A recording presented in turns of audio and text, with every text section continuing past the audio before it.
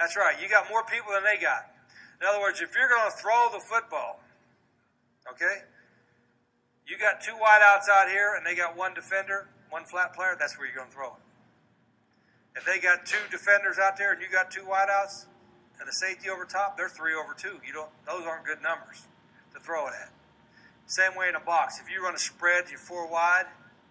They got five in a box, you got numbers to run it. They got six in a box, you can still run it if you're running zone read.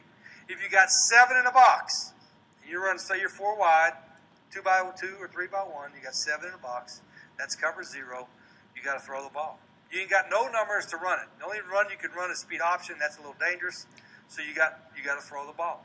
So don't beat yourself up and run and throw the numbers. Now, if you add a guy in a box, in other words, if you're not four wide, but you're three wide receivers and a tight end, if you add a number, they add a number.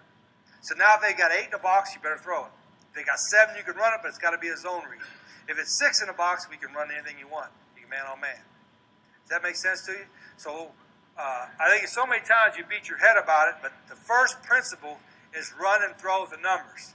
The second principle is angles. What I mean by that is angles. All right, just say again, we're going spread. You go two by two wide guys out here, two out here, two out there, quarterback in the back of the backfield, five linemen. All right, they got an even front. Us, it's either it's even front, it's an odd front, it's a bear front.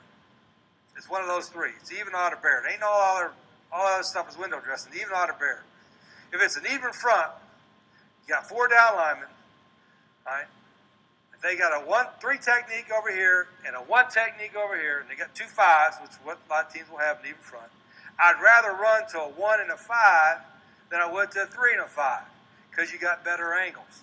It's easier to block down on a one and block out on a five than it is to reach or scoop a three technique. So you want to run your run plays if everything's equal. Defensively, it's per- perfectly balanced.